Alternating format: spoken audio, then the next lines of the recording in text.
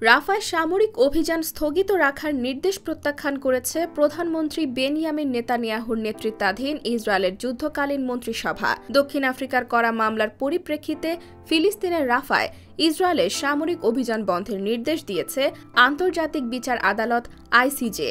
এ মন্ত্রিসভার বৈঠকে জানানো হয়, গাজায় ক্ষমতাসীন সশস্ত্র গোষ্ঠী হামাসকে ধ্বংস করা এবং গোষ্ঠীটির কবজায় থাকা জিম্মিদের উদ্ধারে তাদের অভিযান অব্যাহত থাকবে। এমনকি ইসরায়েলের প্রধানমন্ত্রীর কার্যালয় থেকে দেয়া এক বিবৃতিতে আইসিজের রায়কে ভুয়া, ভয়ানক এবং ন্যায় বিচার পরিপন্থী উল্লেখ করে বলা হয়েছে, প্রত্যেক দেশেরই আন্তর্জাতিক আইন ও মূল্যবোধ অনুসরণের ভিত্তিতে নিজেদের নাগরিক ও সীমানা রক্ষার অধিকার রয়েছে এবং ইসরায়েল ঠিক তাই করছে।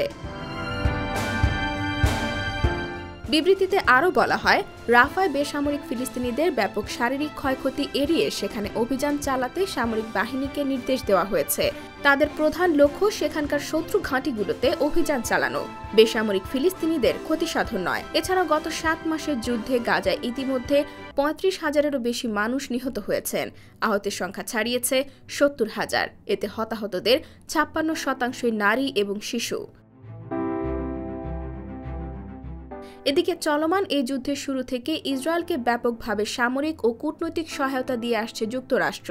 সেই যুক্তরাষ্ট্র রাফায় সামরিক অভিযানের বিরুদ্ধে। এমনকি ইসরায়েল এই ইস্যুতে যুক্তরাষ্ট্রের আপত্তিকে আমলে না নেওয়ায় সেখানে অস্ত্র সরবরাহ স্থগিতের নির্দেশ দিয়েছেন প্রেসিডেন্ট জো বাইডেন। যা এখনও প্রত্যাহার করা হয়নি। কিন্তু এতেও টনক নড়ছে না নেতানিয়াহু প্রশাসনের। হামাস কর্তৃক জিম্মিদের উদ্ধারের নামে গাজায় বেসামরিক মানুষদের পায়ে পিষে রাফার ভেতর অগ্রসর হচ্ছে ইসরায়েলি বাহিনী।